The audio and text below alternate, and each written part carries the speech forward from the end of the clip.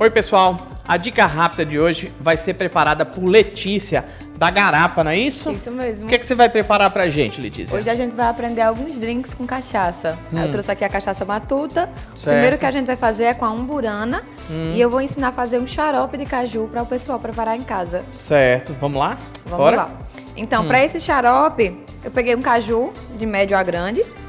E daí eu vou macerar esse caju para extrair o sumo dele. O Certo. pessoal em casa vai estar vendo eu aqui com a coqueteleira, né? Esses meus insumos, mas não tem problema. Se você tiver um copo, uma coqueteleira dessas de academia e essas mãozinhas de pilão, já dá certo. É só macerar, que aí você vai extrair bastante sumo dele. E daí você vai coar esse sumo do caju. Certo. E vou levar aqui pra panela. E daí, quando ele esquentar, eu vou adicionar a mesma quantidade de folhas de manjericão. Então ele esquentou, vou deixar minhas folhas. Vou dar uma leve mexida nele, que é para poder as folhas não ficarem um montinho aqui no meio, né? Daí eu já apago o fogo e vou abafar. Daí aqui a gente já infusionou, né, o manjericão. E daí já com o fogo desligado, eu vou adicionar o meu açúcar. Vou mexer para ele dissolver bem, que já tá prontinho. E eu vou coar o meu xarope. E daí uma parte importante é a gente etiquetar esse xarope. Uhum. Pode Botar ser com a data. fita, isso. Pode ser Tá. uma fita durex dessa, com a caneta direto no, no seu vidro. Você vai colocar o nome aqui do que você fez e vai colocar a data de fabricação. Certo. Porque esse xarope, ele vai ter uma validade na geladeira de 7 a 14 dias. Tá. Às vezes eu uso mais tempo, Uhum. mas assim, pela Anvisa, pela Vigilância Sanitária, como é uma fruta fresca, a gente não usou nenhum conservante que- além do é. açúcar, então Entendi. ele precisa estar aí com esse tempinho. E daí vamos pro drink? Vamos, A vamos parte embora. boa? Então eu vou usar 30 ml de xarope. E daí a gente vai colocar o gelo num copo, um copo Uhum. longo, normal. Certo.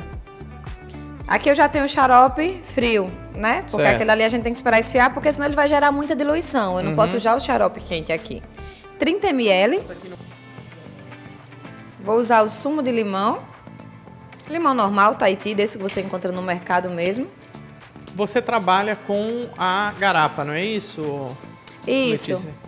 A gente atende tanto para eventos, para Uhum. fazendo o o open bar, quanto para consultoria para bar, restaurante. Vendemos produtos também para o pessoal fazer os drinks em casa. Entendi. Bastante Qual é, coisa qual é legal. o, o- o- o Instagram de vocês? É Garapa Coquetelaria.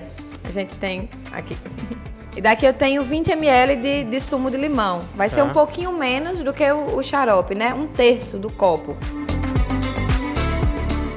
E agora a gente vai usar a- como base, né? A cachaça umburana, que aí a gente vai usar a cachaça matuta, que é uma cachaça aqui de areia. Eu gosto de prezar sempre pelos insumos locais. Uhum. É, desde esse xarope que você viu que a gente fez com o caju, né? Que é uma fruta daqui do nosso bioma.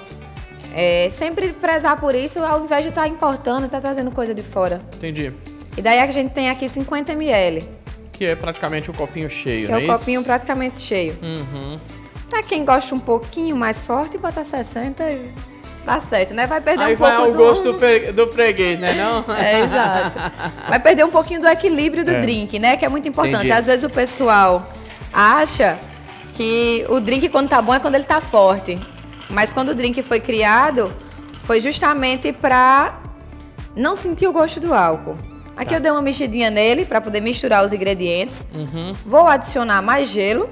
Lembrando, pessoal, se você beber, não dirija, não vale a pena, certo? É risco para você, para sua família, para os seus amigos, para as outras pessoas, tá? E é muita dor de cabeça que você pode ter, tá? E se você é menor de 18, nada de bebida. Nada de álcool. Aí, para finalizar, A gente vai completar Água com água tônica. tônica. A sensação do momento é o gin tônica, né? uhum, Aqui a gente vai ter um mato tônica, que é o gin tônica raiz. é, Nesse momento, eu vou misturar levemente, que é só para puxar os sabores, coquetel pra né? O cima coquetel, a- e o não limão. perder a carbonatação, que são essas bolinhas que vai Entendi. ter aqui no drink. Para decorar, eu tirei um pouquinho da casca do limão, passo aqui na borda do copo para aromatizar e um raminho de manjericão. O gesto que ela falou, gente, é você dar uma enrolada no- na casca do limão, tá? Que ele fica assim, todo enroladinho, viu? Esse Tira um pedacinho fala da bonito. casca e é. enrola. Tá pronto? E tá pronto o nosso mato tônica. Vamos Será lá. que prestou, hein? Vamos ver. Vamos provar. Hum.